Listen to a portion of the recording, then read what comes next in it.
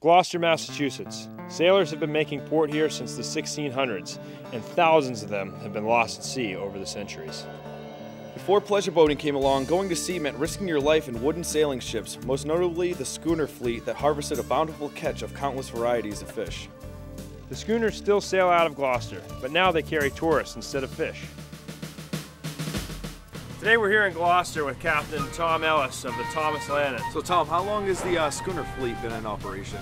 Like everything, schooners evolved from um, something that came before them.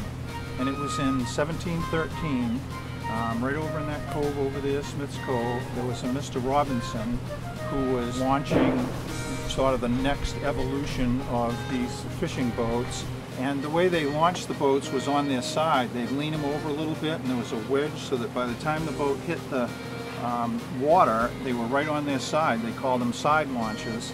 And uh, when that thing slid into Smith's Cove, this old woman said, oh, look how she scoons.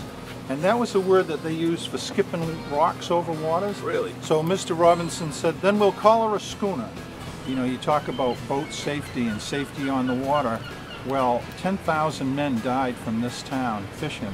And um, you can imagine that, that the people who survived that were most interested in supporting anything that made boating more safe.